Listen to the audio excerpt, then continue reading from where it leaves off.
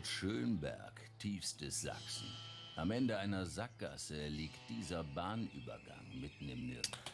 Nee, äh, gucken wir gleich an, Laura, über Elobrüder. Dahinter nur noch ein Berg mit einem Haus. Hier verläuft die einzige Zufahrt für Familie Winkler. Von ihrer Terrasse aus haben sie die Schranke immer im Blick, denn es zählt jede Sekunde. Wenn sie offen ist, fahren wir los. Was schon passiert ist, wir sind in der Mitte vom Berg und die Schranke geht zu. So wie jetzt. Es ist wieder einer dieser Dienstagmorgende, 11.44 Uhr. Jetzt ist erstmal die Schranke runter. Nun müssen wir warten, bis der Zug kommt. Ungefähr eine Viertelstunde wird es dauern. Eine Viertelstunde, 15 verdammte Minuten. Es gibt keinen Fahrplan, daher weiß man nie, wann es hier nicht weitergeht. Mensch, mein Mann ist zu Hause, der wartet. Jetzt sind Nerven aus Stahl gefragt, denn entlang der Strecke gibt es keine Schrankenwärter mehr, seit die Nossen Rieser Eisenbahnkompanie, kurz NRE, die Strecke übernommen hat. Stattdessen läuft es so, wenn der Zug in Nossen startet, fährt ein Mitarbeiter im Auto voraus, um hier in Deutschen Bora die Schranken entlang der ganzen Strecke zu schließen. Auch in Nee, Digga. Schönberg gibt es bereits dann kein Weiterkommen mehr. Nee, oder? Mensch. Stellen Sie sich mal vor, Sie gehen hier runter zum Bus. No, und der Bus ist weg. Da ist der Bus weg. Mag sein, dass der gottverdammte Bus weg ist, aber der Zug ist noch nicht da, auch um 11.52 Uhr nicht. Geduld muss man haben. Geduld und Spucke. Mittlerweile ist es 11.54 Uhr. Ja, jetzt kommt der Zug. Und das nach nur 10 Minuten. Danach passiert nichts. Nee. 12 Uhr, High Noon.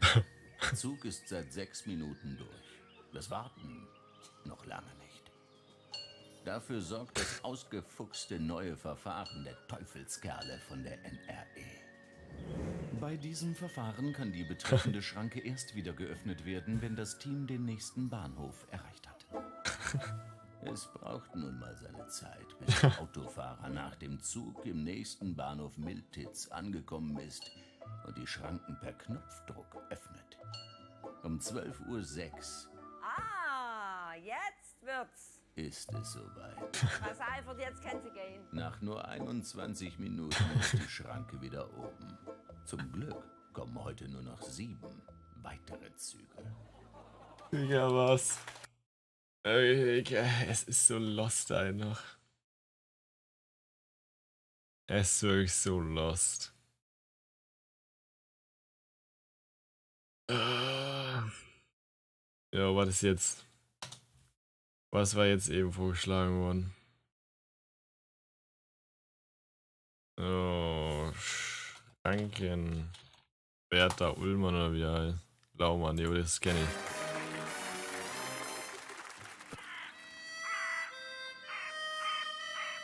Tiefstes Niedersachsen im Jahre 2006. Eine Ecke von allen guten Geistern verlassen.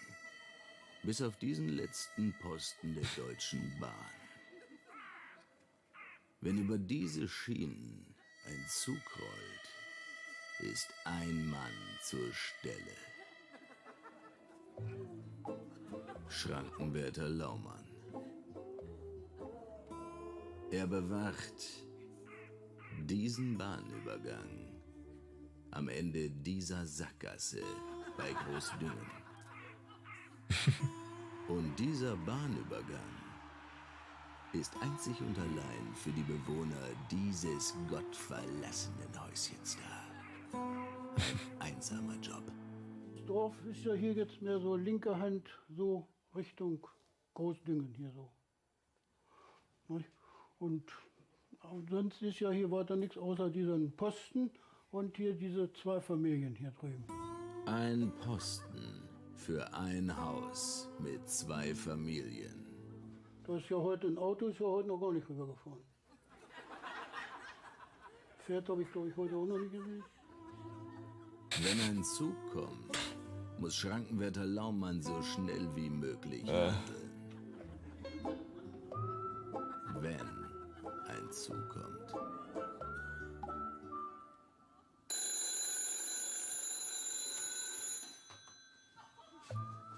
Wenn dann also ein Zug kommt, muss jeder Handgriff sitzen, denn jetzt zählt jede verdammte Sekunde.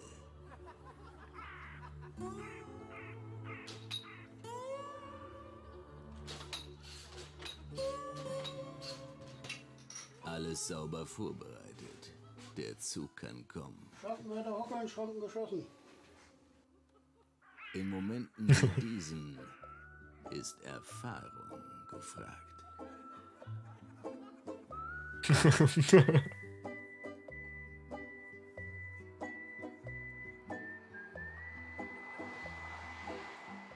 Irgendwann ist die Schicht zu Ende. Laumann ist einer von drei Schrankenwärtern, die hier im Schichtdienst arbeiten.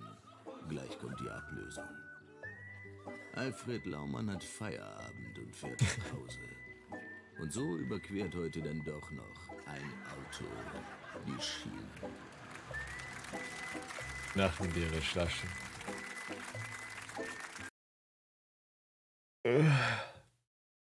Naja, es- also. Aber wir gucken uns jetzt erstmal das Nazi-Kennzeichen an.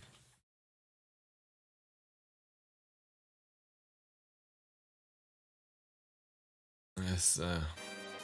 Ja, was, was es hier für Videos hier wirklich, ne? Also man kann halt, man kann hier halt einfach einen kompletten Stream verbringen, so. Sechs Stunden einfach Videos gucken. Das ist Volker Krüger, ehemaliger Theaterdirektor aus Glauchau. Das rechts neben ihm ist sein Auto und das da ganz rechts ist sein Autokennzeichen. Volker Krüger ist eine Gefahr für die innere Sicherheit Deutschlands. Schuld daran ist dieses Kennzeichen, obwohl es ihm ursprünglich von der Zulassungsstelle zugewiesen wurde. Seit 15 Jahren habe ich das Nummernschild, melde das immer im Sommer ab, im Winter wieder an. Kein Problem, lass das reservieren beim Landratsamt. Und diesmal wurde mir gesagt, das bekomme ich nicht wieder. Das verstehe ich überhaupt nicht. Dabei ist es doch extrem einfach zu verstehen, wer hier Recht hat.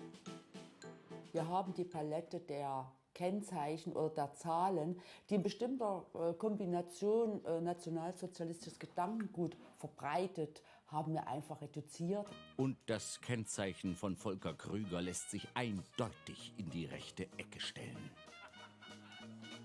Das ist für mich ein ganz normales, solides Nummernschild, was seit 15 Jahren existiert Ja, was ist daran, was ist daran Nazi-Schild? und keinerlei negative Ausstrahlung hat. Aber Herr Krüger, gucken Sie sich das doch mal ganz genau an. Ist doch klar, was hier Nazi-Gedankengut ist. Hoppla, äh, was ist es denn jetzt genau? Die 28 ist es.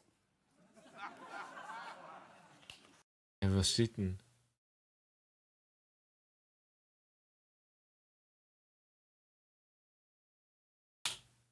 Ja, das steht für BH. Warum? Moment. Das ist die 28. Jetzt fragen Sie mich bitte nicht genau, was genau die 28 heißt. Könnten wir recherchieren und nachgucken. Oh ja, gucken Sie doch mal. Na?